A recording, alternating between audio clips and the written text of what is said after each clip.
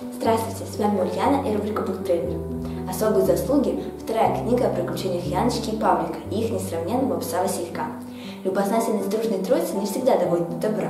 Даже на отдыхе им нет им покоя, а тут еще следы странного преступления. Волей-неволей детям приходится противостоять преступникам. Юмором и неизменной изобретательностью ведет автор своих героев к победе.